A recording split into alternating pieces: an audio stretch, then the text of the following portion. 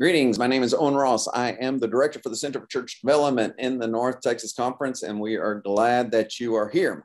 Uh, we are having a webinar today with Pastor Nathan Webb, and he's going to be speaking with us a little bit more about how to build online community. Uh, when the pandemic hit, a bunch of us went to uh, streaming our, our worship service, others went to recording it, our Facebook presence, and other social media uh, stepped up quite a bit. Um, but we're seeing that this online digital community is uh, here to stay. And Pastor Nathan Webb has been, for the past two years, uh, building this uh, entirely online faith community. And I had a chance to meet him when we were at a conference together, and I became very impressed by the work that he's doing and the insights that he had to this work. And so I have invited him to come and share with us. And I'm very grateful for his willingness to take time for us here in the North Texas Conference about building online community. I want to recognize uh, quickly uh, Jessica Vargas, who has who is the mission coordinator for the North Texas Conference Center for Church Development, and she has done the hard work in putting this together. Uh, from Pastor Nathan, he's uh, he's a pastor, he's a father of one, about to be a pastor of his sec- uh, father of his second child, and uh, in this busy time. Uh, we thank you for being with us, Nathan. Yeah, I am happy to be here, and I appreciate y'all having me and, letting me talk about this and, and share a little bit about the things that I've learned. I'm going to share my screen and we're going to have a, a, full slideshow here. The best way I think to do this is I'm going to go through a little bit about Checkpoint Church, the church that I'm planting, uh, just kind of explain what it is and the the foundation that we've discovered along the way. And then I'm going to move into kind of like how I think we might be able to apply it um, as as church planters, as church developers, or just as pastors in whatever uh, space we may be, or even even laity that might be able to listen to this. Anybody uh, who wants to know more about how these things can apply and kind of roll over from how they're working in my very niche community uh, but how they might be able to work for more digital communities as well.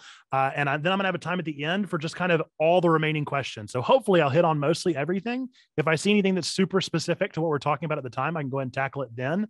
But just assume we're going to go through some groundwork and that'll hopefully uh, answer a lot of the basic questions that we're going to do. So first, I'm going to go ahead and share my screen and get that up up there. So hopefully we can all see Checkpoint Church. So Checkpoint Church is the church for nerds, geeks, and gamers. Um, whenever I presented to the Western North Carolina Conference um, this concept and this idea, they were excited about it and looking forward to what this might mean for us uh, as as as a conference and just as people. Because I am a nerd, a geek, and a gamer, and wanted to um, share what I had had in my childhood with my nerds, geeks, and gamers. So like I said, just some quick groundwork to go through at the very beginning. Uh, this is the basic gist of what we're going to be talking about during this time. But first off, just introduce myself. Second off, talk a little bit about Checkpoint. Then we're going to talk about our th- our three major platforms, um, which are Twitch, Discord, and then YouTube, which has kind of um, morphed into our actual discipleship model. I'll talk a little bit about, about our pathway. And then we're going to talk about the context and how we might be able to apply it to yours. And then at the very end, we'll have a time for remaining questions. And I've also got a slide full of resources. Um, I don't know if the conference has any intention of sending out this PowerPoint, but I'd be happy to send it to you with links and that kind of things that I've included in that resource page. At the very least, that'll be helpful, I'm sure. So, first and foremost, who is Nathan Webb? Who am I? Um, these are a couple things about me. I am in the Western North Carolina Conference of the UMC. I am a provisional elder. Um, they picked me up straight out of Duke, straight out of seminary, uh, and put me in the church plant. Really took a big risk on that, um, but hopefully saw the vision along the way. Uh, I am a nerd, a geek, and a gamer. From that center picture, I've been playing video games my entire life. My like bread and butter is actually anime and manga. I love that kind of stuff, but I certainly have been around video games forever and played plenty of plenty of them. And then the third one, I am a PK.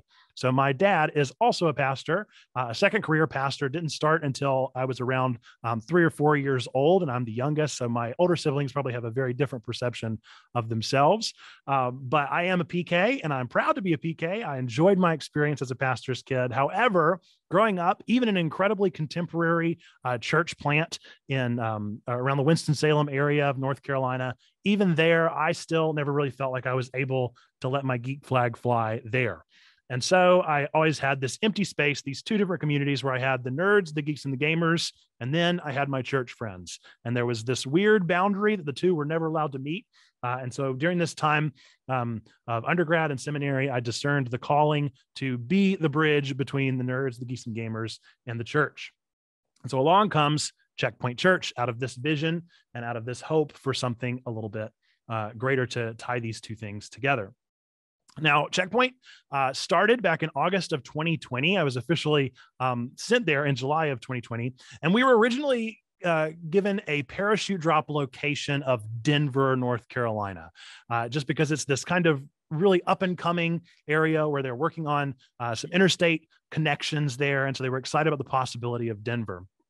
But I think the understanding pretty much always was oh, this is never going to really be exactly what a traditional church model looks like. It's never going to really look like your typical parachute drop or your typical church plant. Um, we've had a couple visions here and there that have entailed a physical space. And obviously, I am in a physical space right now. But it did not take long in our discernment process at Checkpoint to realize that we were going to be a digital platform. Um, originally, Checkpoint's vision kind of came out of the Comic Con model. Uh, if you've ever been to a Comic Con or if you are in a, in a state or in a place where you might have a Comic Con nearby, you likely see the absolute droves of people that will flock there. It's an incredibly exciting experience uh, and it attracts more people than just about any church ever. Um, and somehow they are able to do it pretty consistently, uh, at least in North Carolina alone. I know we have uh, several Comic Cons, um, not put on by the official Comic Con company, but plenty of conventions for nerds, geeks, and gamers that people seem to have no problem flocking to. However, in discerning that, we really weren't sure. Not many of them are doing it every single week. Um, there are some coffee shops that'll do things like that, but the actual physical gathering of the nerds, the geeks, and the gamers is not taking place on uh, on a physical location. Rather, it typically tends to lean towards the online. And so, for the first probably year of Checkpoint's life, we really just took our time with discerning okay, we know that it's going to be online. We know that we need to reach people online at the very least. So, where are we going to reach them? So, after a couple of, of years of, of trial and error and figuring out what might be best, we've managed to, to discern three major areas that we focus on. We certainly have different social media platforms. We have different areas that we branch into, but we have three that are our main focus that we're going to go into. So, what is Checkpoint Church? First and foremost, we are a Twitch streaming channel.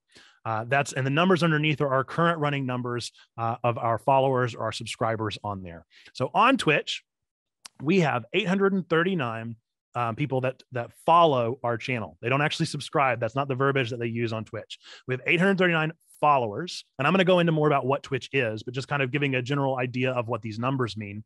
That doesn't mean that we have 839 people watching every single time we stream. It does mean that 839 people have expressed interest in what we do. They've clicked the follow button and they receive a notification to their email or to their app that says when we go live. Now they can turn that off. Um, and we have some statistics here and there of people that do turn that off. But for the most part, we have 839 people that have at least expressed that first time interest and said, hey, this is an interesting thing. Our Discord is our community building application. If you've never heard of Discord, I'll talk plenty about it here in a little bit. It's very similar to a Facebook group, only a little bit better in my opinion. Uh, certainly more customizable. That's that's objective. Um, and we have 242 members that are currently existing in our Discord. Now, Discord isn't just a follower thing. You can't just click and follow and learn more about it. Instead, Discord is something that you join and you can join multiple. So you have a Discord account and you get sent a Discord invitation link to join a server. 242 people have clicked that invitation link and decided to join our community, our space, our server. YouTube, I feel like most of us know what YouTube is. It's a video sharing platform. Hopefully, um, we all have at least some tangential experience with YouTube. Um, but YouTube is not really uh, one that we use how it's intended to be used based, based off of the algorithm. Our purpose with our YouTube channel is not to really reach new people, although we do, that's not our goal. Instead, our goal with YouTube is to have a platform that is able to house our content that we create for spiritual development and discipleship. And we'll talk more about that soon. And we have 362 subscribers on there. The interesting thing about our YouTube channel is that we have a lot of celebrations happening there. We have some uh, channel, we have some videos that we've posted that have got 5,000 views out of nowhere. And then we have other videos that have 12 views. Um, and we don't really put too much weight on either one of those numbers uh, because it's not our purpose for them. But that's just a basic idea. What is Checkpoint Church? It's these three major platforms that we're creating a community around. Twitch is where we reach people, Discord is where we send people, YouTube is where we disciple people. We'll talk more about that in the discipleship pathway uh, whenever we get to it. But that's the basic kind of elevator pitch of what is actually happening at Checkpoint Church. So, first, what is Twitch? What is Twitch all about? So, Twitch looks a little bit like this. You got my screen there. That is our Twitch channel. We're not live in this picture, so it's a little bit hard to see. But if you were to go out right now and create a Twitch account on your browser, this is what you would see. If you're on the app, it would look a little bit different, but this is on your browser. Um, and where it says Checkpoint Church streaming Mondays, Tuesdays, and Wednesdays, typically there's a video feed live right there, just like Facebook Live, uh, where you go live and your video feed is sent there. Uh, and then over to the right, we have our stream chat. Now, unlike Facebook, where it might be a little bit more difficult to see a stream chat, this is kind of the standard layout of Twitch. Um, the stream chat is arguably the most important part of the stream whenever it comes to Twitch. It's something that already exists and really stays, and something that you don't typically um, brush aside or ignore. The chat is an active living organism. So, whenever we're streaming, um, it is typically myself streaming some kind of game. We stream three days a week on Monday, Tuesday, and Wednesday. We stream Pokemon on Mondays. We stream something random on Tuesdays. Today, um, we actually have a little uh, candy machine behind me. I don't know if you can see that. And one of the things that they can pull out of the candy machine has where I play retro games. And so we played Super Punch Out uh, today for a couple hours, and it drove me absolutely crazy. So if I seem tired, um, that's because the energy is just sapped out of my body. Um, uh, by Bob Charlie, if you know Bob Charlie in Super Punch Out. So Sometimes we play that. And then on Wednesday nights, we play games together. Regardless, the video feed isn't really the important part. The video feed is just kind of an excuse to get together. We stream for three hours, like I said, three days a week. And what that really means is that we have three hours where our chat is open and people are engaging in that chat. So the reason that we're on Twitch is not necessarily because we like Twitch as a platform. It's not necessarily because I think that Twitch does it best. Um, instead, the reason that we have chosen Twitch as our main streaming platform is because we are touching into the Twitch culture. Twitch is the demographic that we're wanting to reach. It's the people that we're interested in meeting. It's the place that we think our church should be reaching out. The easiest way I can compare this to a more traditional parachute drop is this is the prime location coffee shop in the town that you've been dropped into. This is the coffee shop where you're going to be going three or four days a week, if not more, every single morning, getting to know faces, meeting people, making a presence. It's not a place where you're going and standing on top of an apple box and telling people um, about Jesus. It's not the place where you're going and preaching, but this is the place where you are present and meeting people. And so we're meeting people on this platform via evangelism uh, three days a week. And hopefully, whenever we're able to develop a stream team of other people that are willing to do this, it'll be even more than just three days a week, but it'll be every day a week that we're making connections on this platform. So that is the basic gist about Twitch. If you have more questions, I'll take all those at the end. But if you have questions specifically about Twitch, feel free to drop those in the chat. So now, what is Discord? Discord looks like this. This is actually from today's conversation. Um, and this is just the idea of what it looks like. So typically, again, there's going to be an app version, there's going to be a browser version. This is what it would look like on your browser. Uh, so if you're actually pulling it up on your computer. Discord has a couple different things going on. There's a lot that is happening in Discord, but the easiest way to get started with understanding what it is is that it is a Facebook group, uh, similar thing. Uh, the only thing that's different about it is it's kind of all the stuff at once and also very much more customizable. Whereas whenever you have a Facebook group, you're on Facebook's app, you have your group, and you're kind of limited to their color scheme. They sometimes let you play a little bit about their color scheme, um, but they're still going to be sending a lot of notifications. It's it's a different kind of experience. But Discord allows for voice, video, and text-based conversations. So again, right? That's the same thing again as what Facebook does. We definitely have all those capabilities. What I think sets Discord apart is over to the left. You see, there's this whole thing, uh, this left bar with a bunch of plus signs.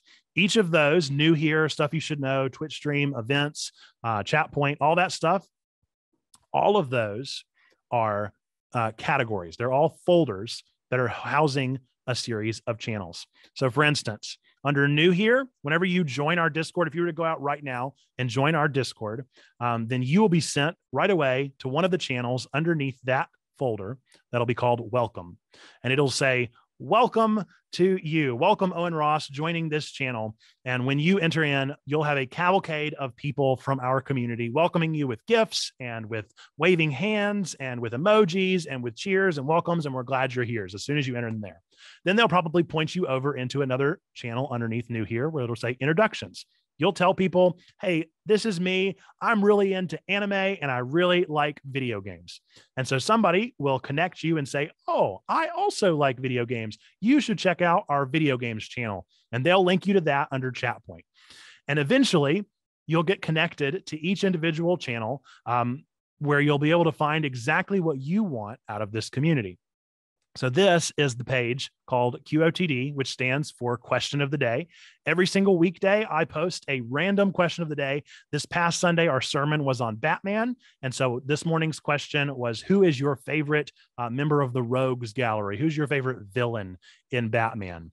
And so, we have a series of people that'll post their answers and sometimes pictures. Sometimes they'll agree with each other, sometimes they'll disagree with each other. But this is kind of the first foray into getting chatty with one another under chat point where they might be able to just engage in communication with one another.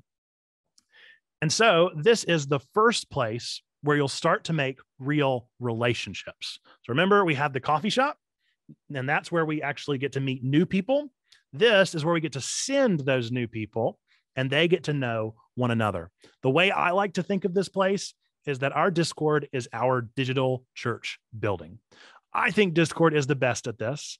But if you have another platform that you have used or are more familiar with or prefer, uh, maybe some some uh, possible comparables would be Mighty Networks or Slack. Um, I I still wouldn't advise Facebook groups, but that's just because I have a vendetta against Facebook. Um, but there are certainly things to each of them that they have pros and cons. But I think that this is a key element of if you're wanting to build a digital church, you have to ask yourself, where are we sending people? Where are they gathering and where are they being collected? And that is what Discord has been for us. And Discord is where all the good stuff happens. We end up sending people back there as well. But that's just a little explanation. If you have any other questions about Discord, feel free to drop, drop those in the chat or save them for the end when we have a time of remaining questions. I have a series for um, UMCOM uh, that works through how to actually build a Discord. So if you're curious about more of that stuff, um, I'll have to think. It's not tagged in my resources, but I could try and find that uh, a little later. Uh, but there are some some ways that I've found to kind of build those, and it takes a long time to talk about building them. Uh, and so each of those seminars, I think they're like about an hour each, or maybe even 30 minutes each, and so for an hour total uh, of just building a Discord. It's an intricate thing. It's kind of a high barrier of entry, but once you learn how to get into Discord and learn how to use it, I really do think it's the best platform um, for doing this exact thing. Okay, so what is discipleship? Once we ask, what is Twitch? Why are we using Twitch? What is Discord? Why are we using Discord? Now, what is discipleship? This is our discipleship pathway as it stands right now. So, first and foremost, like I mentioned earlier, our outreach, our evangelism is Twitch. This is our widest part of our funnel. This is where we're really reaching the most people, uh, or at the very least, is where we're meeting the most new people. Eventually, those people on Twitch hopefully ask enough questions, they get interested enough, they feel welcomed enough in the chat that they all move into our Discord. That's our community element. Uh, after they start to get involved in the community, they start to talk about Batman and things like that. We hope that they get curious about maybe going a little bit further than just that surface level stuff. Now, that's not to say that we're not talking about real things um, in our Batman discussion. I mean, talking about villains is pretty interesting. Why do you like villains that you like? Um, that's an interesting conversation starter. But we hope that eventually people will be ready to take steps beyond just kind of the surface level coffee conversation and go into the next level of spirituality.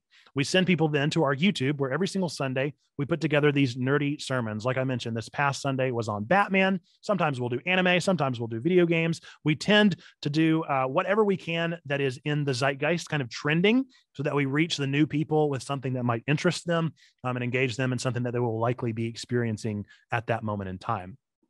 And then our most recent step of our pathway is level two. Uh, this is kind of our first step of ownership. So we're we're asking people in level two up until this point, right? Twitch, Discord, YouTube. It requires levels of yes and uh, uh, some kind of buy in, but it doesn't really require any kind of ownership or desire to serve this community. And so that's actually the word that I use with people that are interested in level two. I say, Are you ready to go beyond just being served by this community and instead beginning to serve? this community? Are you ready to serve this community and be good stewards of your time in this space?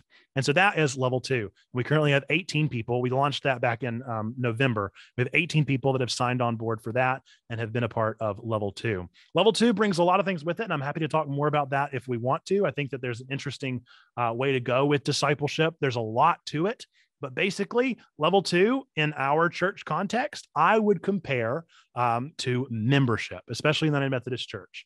Um, we are not a chartered congregation, so we do not have members yet. But this is the closest thing that I could compare to members in our space. These are people who are going beyond just visiting and instead choosing to enter into a space of serving this community. We still have multiple steps um, down that we're developing in this pathway and things that we have for the future. I don't think we have any further platforms, um, but we will continue to use these platforms um, to the best of their ability uh, as we see fit and as we kind of evolve.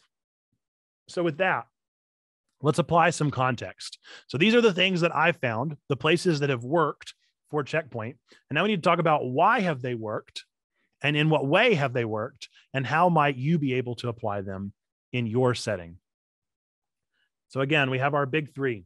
We have Twitch, Discord, and YouTube. There's a lot that I've learned about Twitch, um, and there's a lot of lot of things that I've picked up on along the way.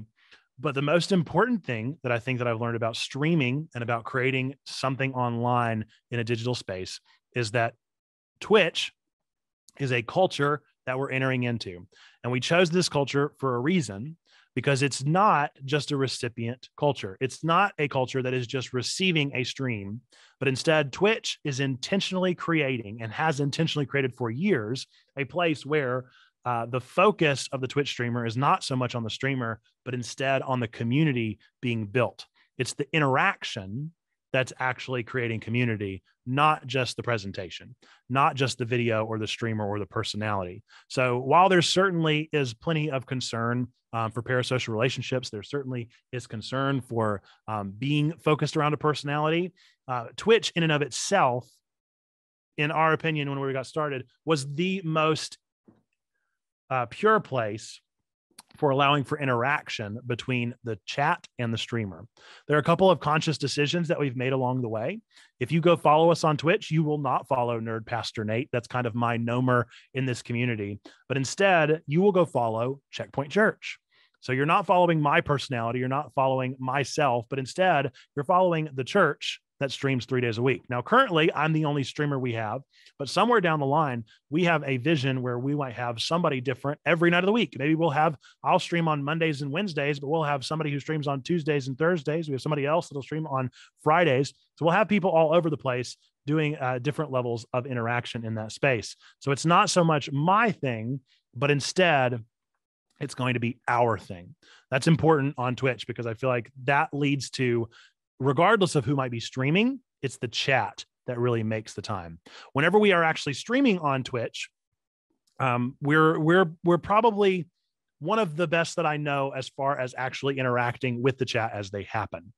So instead of instead of just kind of people coming in and there just being hundreds of people in the chat and the, the streamer doesn't really interact with them, we interact with every single person that enters in. We welcome them, we ask them questions, we learn about them, uh, we encourage them to join our Discord. We talk about who we are, why we're doing this. We talk about what your favorite games are. If we're playing Pokemon, we might ask, What's your favorite Pokemon? Why do you like that Pokemon? We'll have all these different conversations happening in that place. Uh, but regardless, we're constantly interacting with that chat rather than interacting with the game that we're playing. Sometimes I will pause the game that I'm playing just to interact better uh, with the chat because I think that the, that's really the difference between these two things.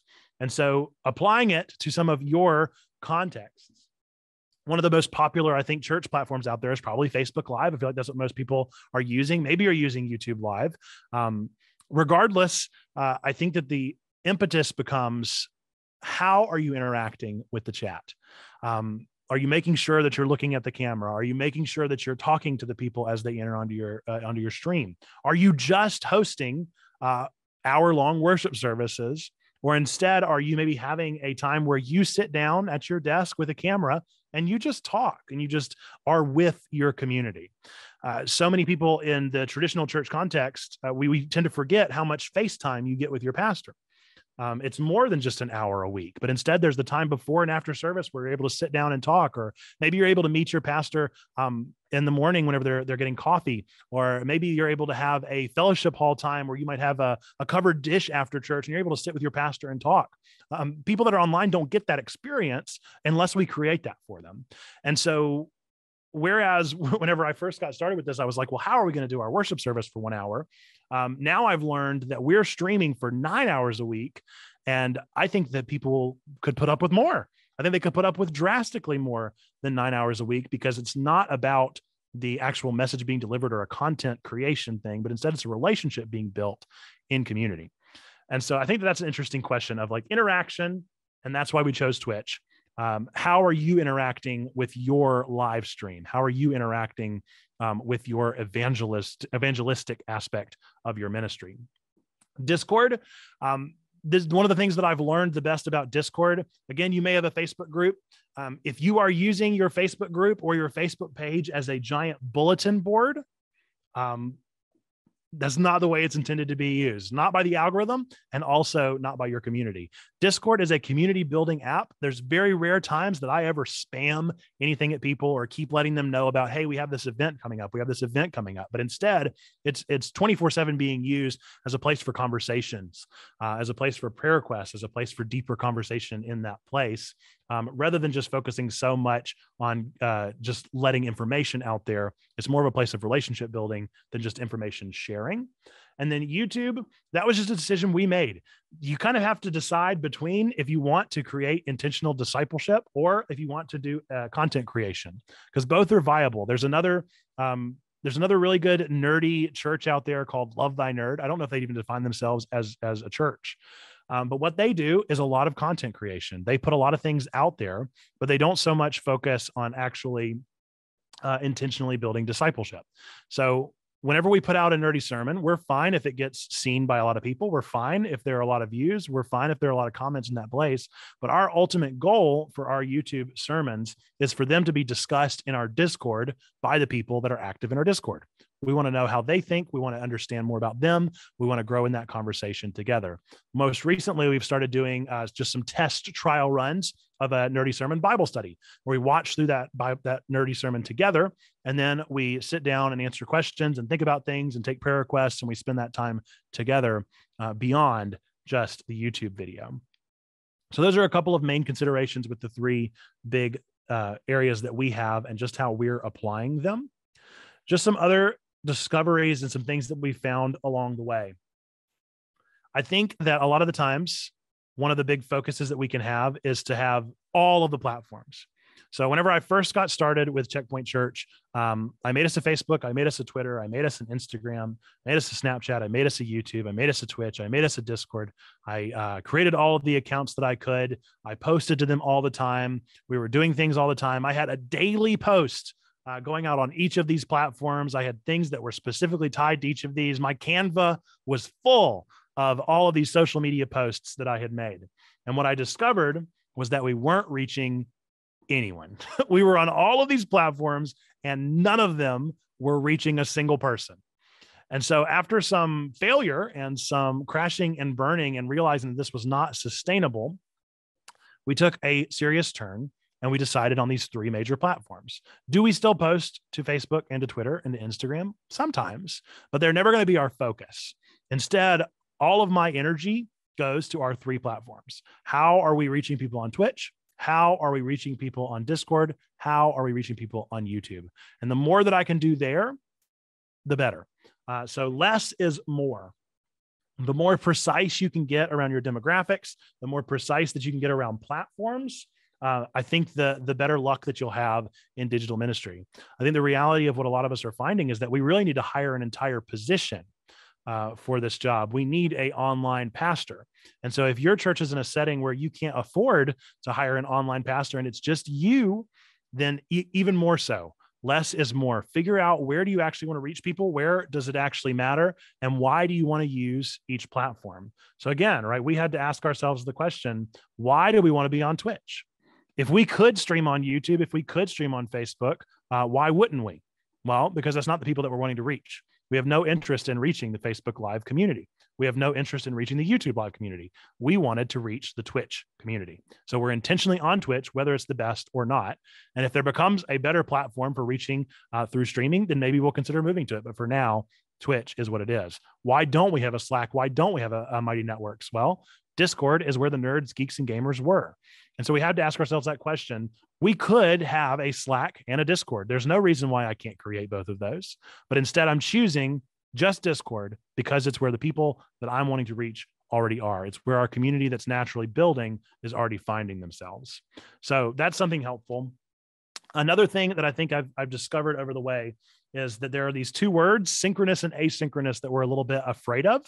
And I don't think we need to be afraid of either one or too uh, hyper focused on either one. We don't need to worry about creating more asynchronous content or more synchronous streams, uh, but instead, we need to just see it as a tool.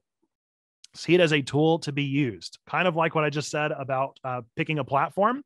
Choose when asynchronicity is needed and choose when synchronicity is needed. We're only just now. We've we've been putting out nerdy sermons for over a year now and we're only just now working on developing our Bible study around them we've spent the time really devoting, uh, developing the craft of the video, hiring an editor, figuring out what our voice looks like, figuring out the flow and how to write them and how to create them and how to make sure that they're as good as they can be before we even started worrying about a Bible study.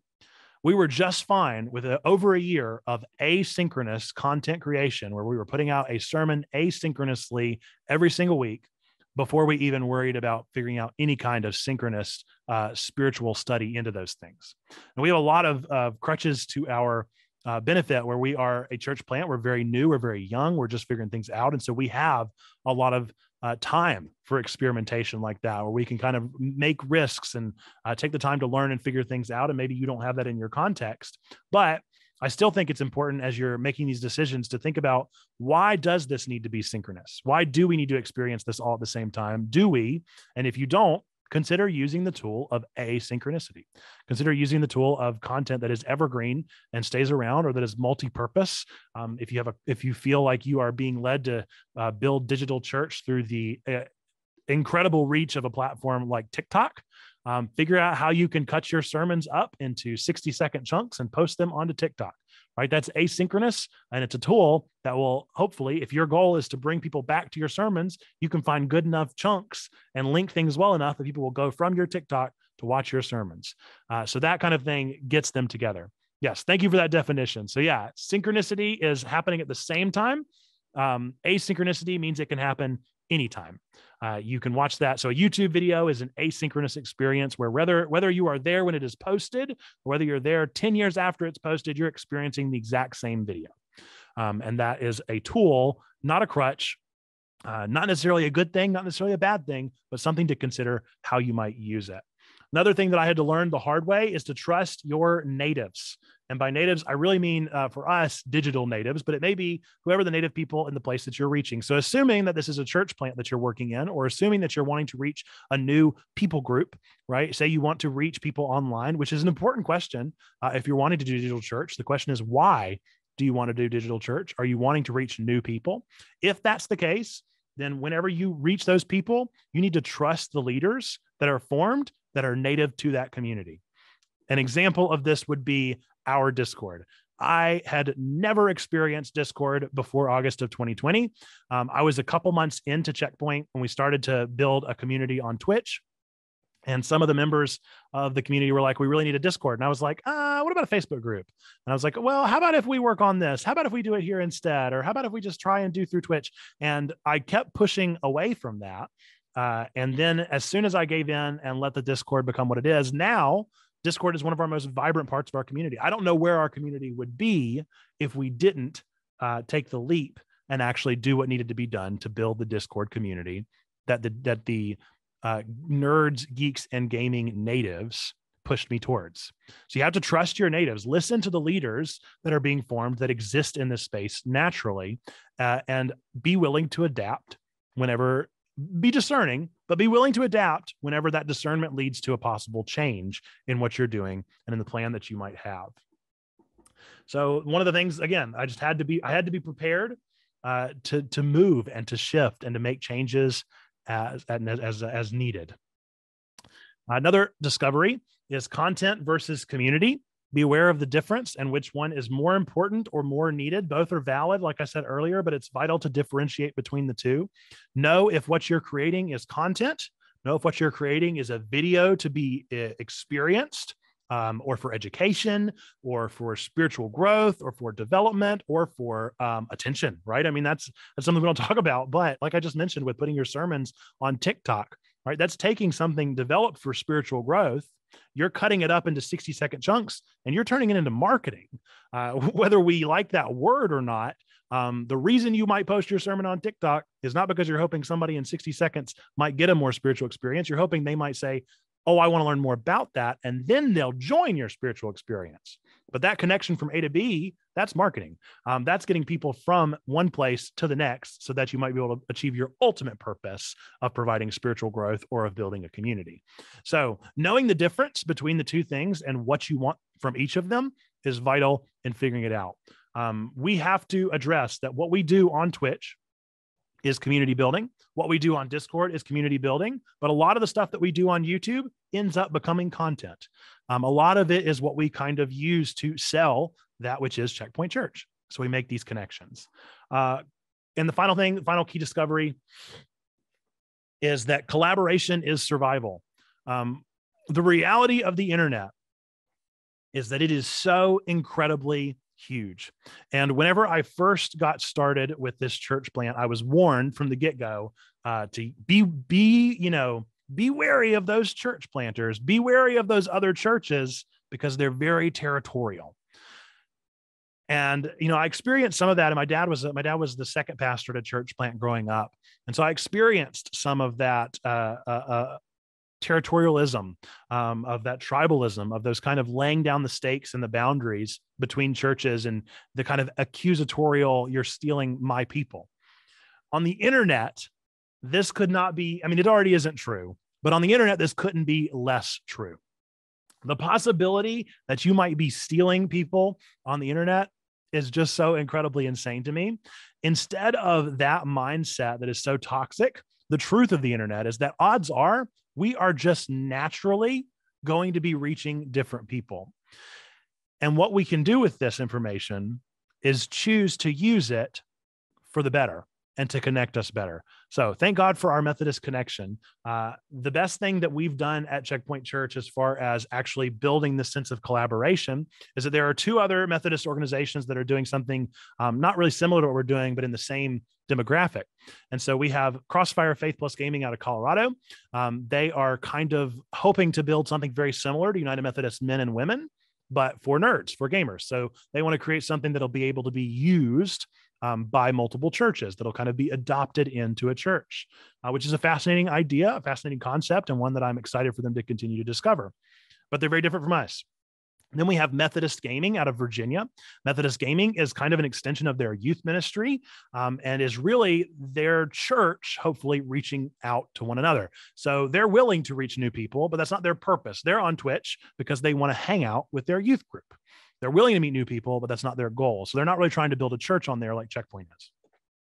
These three communities partnered back up uh, in in January. We, we we try to do things often, or at least build off of one another or learn from one another. But in January, we built something called the Next Stream Charity Event, where we streamed for 24 hours, which is such a long time. We each took eight hour chunks and we raised money. Um, um, we raised money for uh, UMCOR. And that was an incredible opportunity where we were able to collaborate with one another by mixing together our communities over 24 hours and by practicing good stewardship and generous, extravagant generosity. We raised over $3,000 for UMCOR during that 24 hours um, of streaming, of playing games, and of hanging out with one another. And we wound up in the long run making new connections uh, across the streams. The reality of this uh, platform and of the internet is that the church will likely never compete with the powerhouses of this market and of this industry and on Twitch. Um, maybe, hopefully, that would be wonderful if we're able to, to reach as many people as Ludwig uh, over on YouTube or uh, as Pokimane here on Twitch. We would love if that would be possible, but the odds are that that's not going to happen. Um, and so instead, what we need to be doing is focusing on the connection that we do have to the people that are already here. So one of my goals with Checkpoint is I would love to see, just like how we have Find a Church, um, where you're able to go to a web- website and see what churches are worshiping right now. I would love for us to have a site where you can find a streamer. You can find a pastor who is streaming right now uh, and go watch them if you have some free time or if you want to go watch somebody stream. Um, I think that is what is key to what we're doing. This collaborative effort is going to be the survival of what actually makes us stick on the internet because the reality is that this is such a massive place that we have 839 followers on Twitch. And that feels like a lot but it is so incredibly small. We are so incredibly humble. Just a, a, case in point, right? We have 242 people on our Discord. I'm incredibly proud of the people that are there. I'm, I'm, I'm incredibly proud of the community that has gathered. It could not be more fun. We are so excited to be getting to know one another. I'm making relationships, and uh, we're we're seeing friendships begin to really blossom. We're seeing something incredible happen there. We have 242 people. And do you know how many people we need to be considered a discoverable platform. So Discord is um, they're they're a they have a marketplace essentially where you can go and find other servers. You can't buy them, but you can go find other servers to join. Do you know how many people we need just to be considered on that page? Not on, not on the top of the list, not trending, but just to be considered as a runner, uh, as a as a name worthy of being put in that marketplace. We need six thousand people on our server. 6,000 is the boundary they've set just for us to even be considered. 6,000. That is an insane number. That is a wild number for me. Maybe we'll reach it someday. Maybe we won't. I'm not sure what it looks like in the future for us or how we connect or how we reach. I'm incredibly proud of those 242, but 6,000 is a long, long, long way away. And so the reality is that we are very, very far from being so inundated on the internet that we're going to start overlapping. There's no need for territory. There's no need for concern. There's no need for fear. Instead, collaboration is going to be the key of helping us survive um, with the virality of the internet. So the next page is going to be on my resources page, but I'm going to go ahead and turn to Q and A's and any questions that we might have in the chat. If you have anything else that you want to drop in over there, feel free to do that. Um, and then I'll go to my resources after answering these questions. The first question I saw that came up was from Colin. How long has Checkpoint been streaming on Twitch? And were you streaming before Checkpoint Church was a thing? So the way that that kind of worked, I, will try and click answer live. I hope that this worked. Um, yes. So we started streaming on Twitch August of 2020. That was our very first thing that we did was we started out streaming. Originally, we were streaming two days a week. Uh, no, maybe we did stream three days a week. Maybe we streamed Monday, Wednesday, Friday. But the first time we streamed, we were streaming for two hours at a time, and we streamed one day where we were playing uh, some random game, and then on Wednesday nights we tried something uh, where we played a game as a Bible study. So we played a game called Undertale, which I would recommend to all of you. Um, but Undertale as a as a means of Bible study. We played through two hours of it a week, and then I asked people to join our Zoom call on Sundays, where they would go from our Wednesday night stream playing this game, and then we would talk about the game and the lessons we learned on um, Sundays. And it was a total flop, a complete failure. It did not work at all. Nobody came to our Zoom call. And there were a lot of reasons behind that. Um, but since then, we've really learned a lot and changed a lot. Um, and our most recent change was in January, whenever we moved to our three hours um, chunk, and that has really been a good chunk. We were working on two hours Monday, Tuesday, and Wednesday. We did Monday, Wednesday, Friday at some point, but our most recent iteration of Monday, Tuesday, Wednesday for three hours each has been a really successful model um, that has been really good. And by success, I, I know I saw Matt. I might, might be jumping to his question a little bit here, um, but what I define as success in this in this community and in this place is a lot of different things. Um, but ultimately, it's that, that I see community being formed, that I see relationships being made, people getting to know each other. Uh, a win is whenever we get a new person that actually starts to contribute and doesn't just kind of lurk. I have no problem with lurkers. Um, I think that they're an important part of the puzzle, especially online. But I still think that uh, whenever we we meet somebody new that's willing to contribute, um, that's an exciting win for me. And I have I was not streaming before um, Checkpoint Church, but I did have a project that I did for my youth group whenever I was a youth minister, where I had a YouTube channel called Single Player. You can go back and watch it. It's not inherently Christian, um, but it was just uh, an effort to the people that I was watching on YouTube. I didn't want my youth to watch. And so I created what I wanted my youth to watch and tried to have a, a place of intentional, positive, and encouraging gameplay there, not to steal from K Love there, uh, but to try and create that. I'm going to move on to John's question. At some point this afternoon, please explain the origin of the name Checkpoint Church. My wife and I and my best friend, um, they were kind of my original confidants um, that helped me figure this thing out.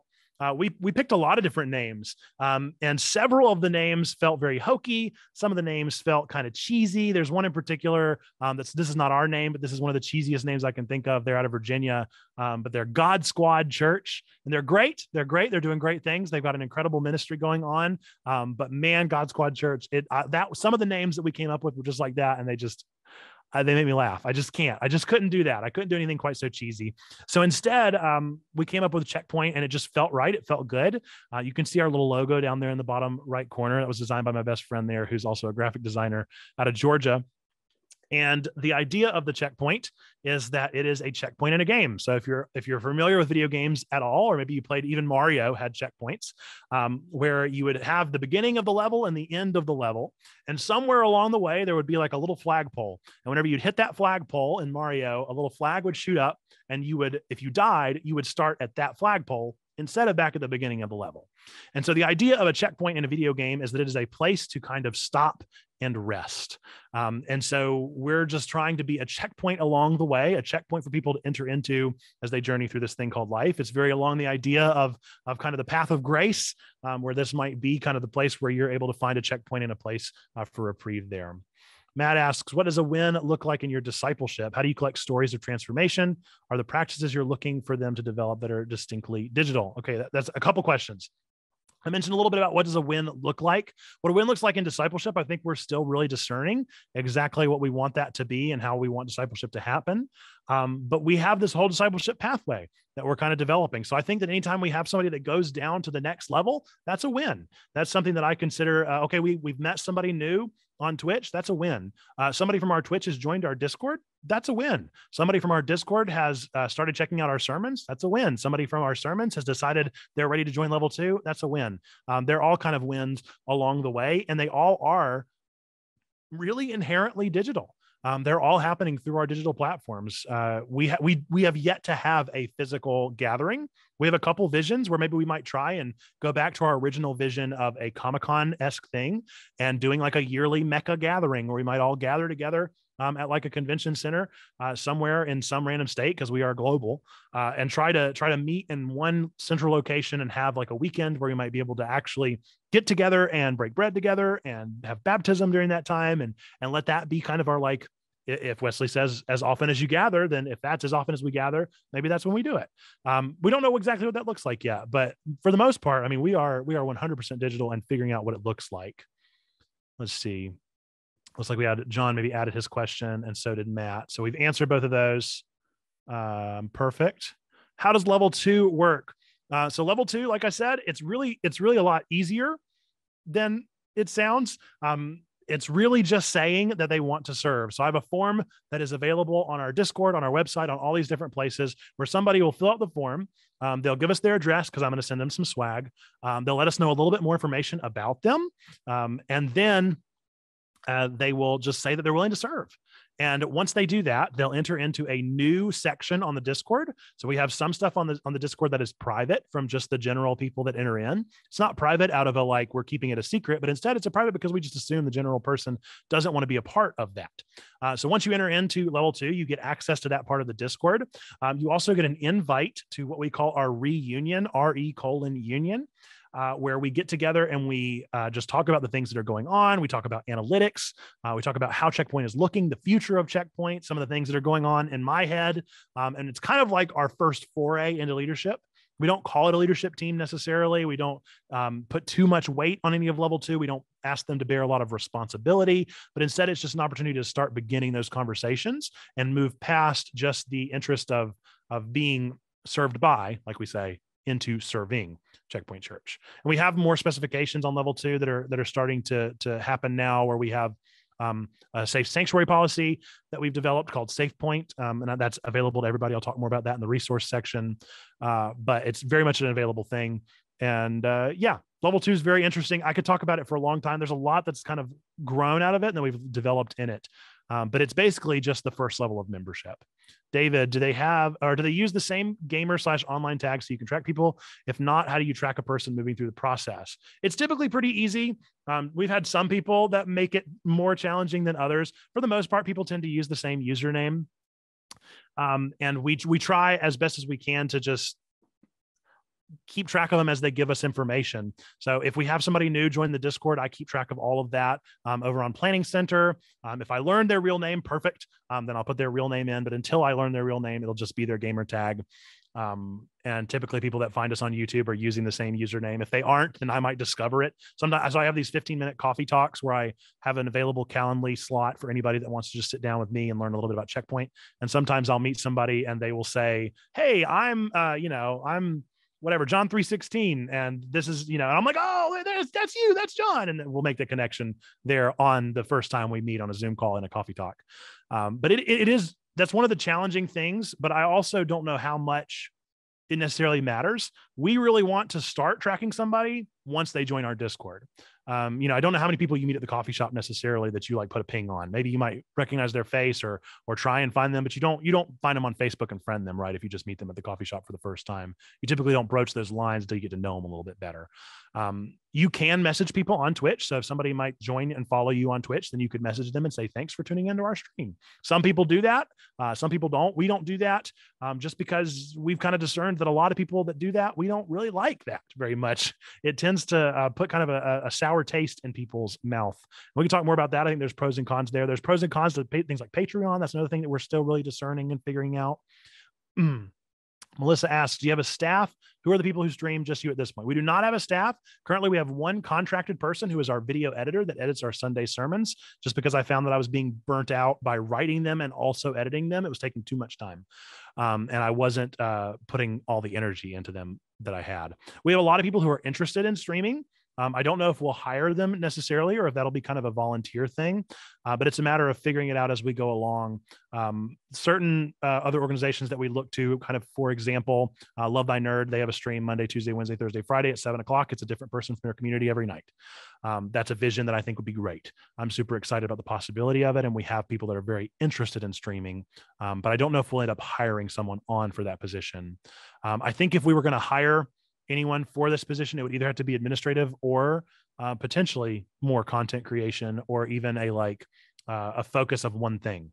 So maybe I would be able to focus purely on Twitch and we'd hire somebody to focus purely on Discord um, and figuring out how those connections are made. I could see like specialization um, for higher position or staff, but currently we are not even in the conversation about that. Kathy says financing and tithing. That's that is the million dollar question. I'd love to continue talking about it. Um, we're actually having a finance team, our first ever finance kind of dream meeting um, tonight. Uh, so we'll see where that goes and how that goes. We have a lot of visions. We have a lot of um, hopes for what that looks like. Currently, we have an open tithe over on Planning Center where people are welcome to give, um, but we certainly don't have uh, too many people giving in that way. We do receive a lot of funding through Twitch. Um, so, Twitch, we reached pretty quickly um, our um, not partnership, but the affiliate status on Twitch, which means that you can start receiving some income through Twitch. Uh, and we have regular subscriptions. We never really have less than 20 subscriptions. So, that's once a month. Each of those are worth $2.50. Um, so, we make about 50 bucks a month off of uh, just Twitch subscriptions alone, sometimes a little more, sometimes a little less. Uh, we also get advertising um, from Twitch. We have the ability that people can, instead of rather than subscribe, they can just throw bits at us, which are literally worth one bit is one penny. Um, and we never get many of those, but when we do, you know, that's a little bit extra on the top um, that we're receiving there. We receive some funding through um, our podcasting app that we use, Anchor, um, that allows you to pretty much make we don't put our sermons with uh, with advertising, but we do have a podcast that we have advertising on and things like that. Um, yeah, so let's go into resources. If there are any other questions, we still have a little bit of time left to answer them, but I'm going to go through some resources real quickly and they might answer some last minute questions or things that are still on people's minds. These are just a couple things. And again, I'll send this um, PowerPoint um, either to Jessica or Owen or both, and we can make sure that this gets to the people that it needs to. Um, I have a list. This is just three books um, that are on that list, but I have a list of recommended reading that I've discovered so far um, for digital church ministry. I think if you haven't read From Social Media to Social Ministry, uh, you got to read it. You got to read it. it's just, it is the, it's like the primer. Um, I think that a lot of the information may already be dated, but it's a helpful start, especially if you feel like you are totally unaware uh, of social ministry uh, and the viability of using social media for ministry. This is a great place to get started. Um, Jason Moore just put out the book Both and um, uh, phenomenal resource uh, in Jason. Jason has, has got a lot of uh, clarity in figuring out what does it look like to do both and digital and physical ministry, kind of uh, merging in a digital church with your physical church. Um, this is really touches on my heartstrings, even though I don't have this exact scenario. I don't really have a both and. I wouldn't consider Checkpoint a both and experience.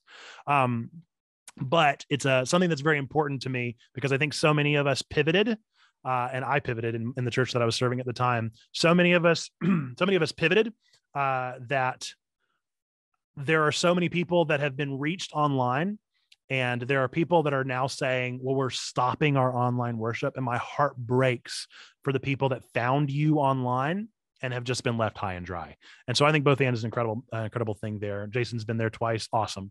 Yeah. Jason's, Jason's a great guy. Uh, and I look forward to what he continues to develop through the both and um, program.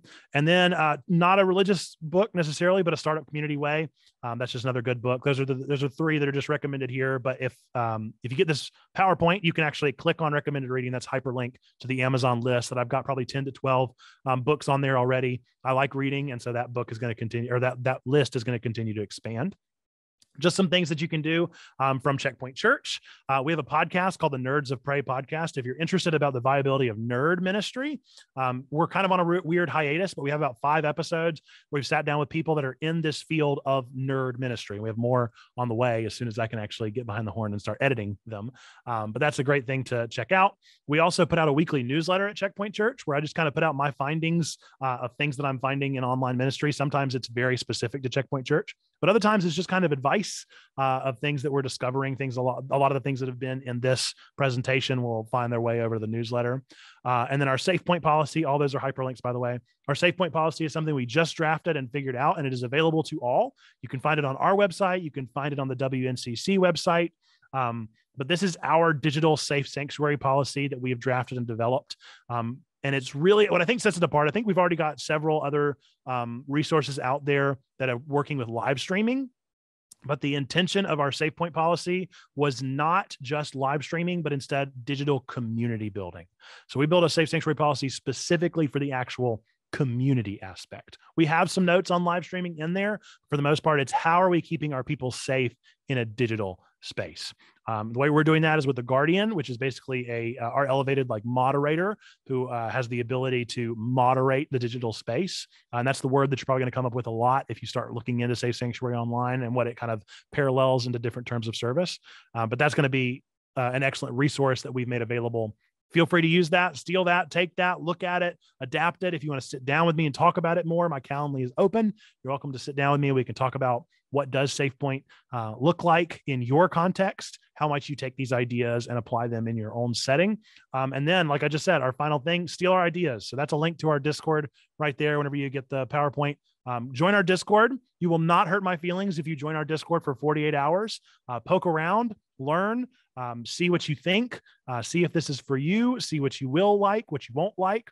Um, take the way we've built ourselves, take the things we've learned. Please, um, a part of my uh, what I what I see as my obligation as a employee of the Western North Carolina Conference is that I am a researcher discovering these things as well as a pastor planning this church, and so I want to let all my research out uh, I don't want to put anything behind a paywall. I want you to have access to everything that we know. So feel free to come in, steal our ideas, learn from us. We have plenty of people. We have people on our level two that are also pastors um, that have the intention of someday down the road starting their own digital churches. Uh, and they are they've been very forthright with me, and they're like, "Hey Nathan, I am here, uh, and I am here to learn from you, and then I'm going to take these ideas and run." And I tell them, "Great." Um, like I said, I think this space is viable for that. Some things that I do if you want to check them out. I have a daily blog where I put some ideas. A lot of the stuff has nothing to do with ministry. Some of the stuff does. Um, today I wrote about NFTs. So if you care about NFTs, um, you can know my thoughts there uh, and check those things out. And um, all that stuff is on nathanisbusy.com. That's my website there. Uh, Rethink Church, I write one article a month for them where I talk about some video game stuff like that. So if you're interested in nerd ministry, and then the digital ministry Hive Mind, this is something I'd recommend to all of you if you're uh, in this seminar.